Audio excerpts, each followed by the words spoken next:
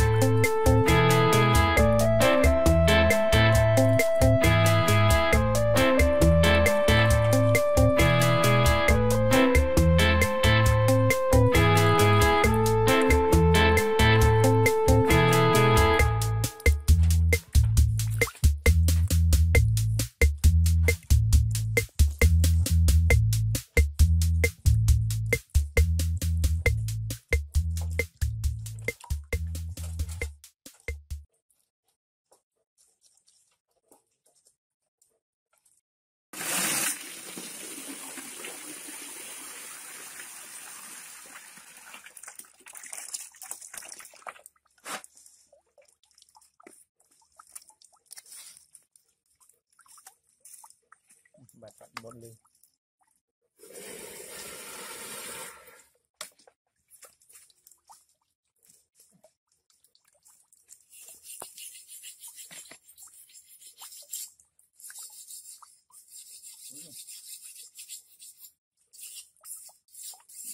Thank you.